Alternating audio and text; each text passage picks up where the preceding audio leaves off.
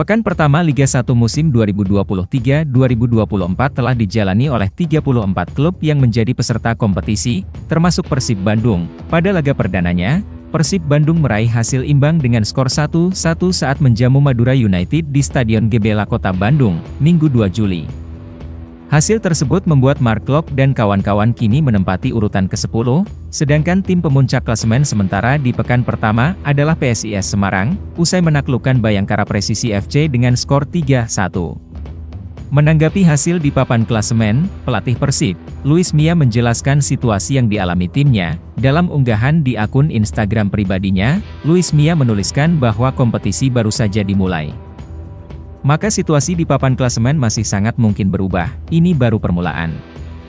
Kami masih banyak kesempatan untuk perbaikan, tulisnya di akun Luis Mila Coach. Senin 3 Juli, mantan pelatih timnas Indonesia itu pun menegaskan, bahwa timnya akan terus berbenah, memperbaiki kekurangan yang terjadi di pertandingan sebelumnya, Persib pun masih memiliki waktu sekitar tiga hari ke depan, untuk meningkatkan kemampuan tim. Sebelum pertandingan selanjutnya, yakni menghadapi Arema FC, di Stadion Iwayan Dipta, Gianyar Bali, Jumat, 7 Juli 2023, fokus kami adalah terus belajar dan bekerja, ucapnya.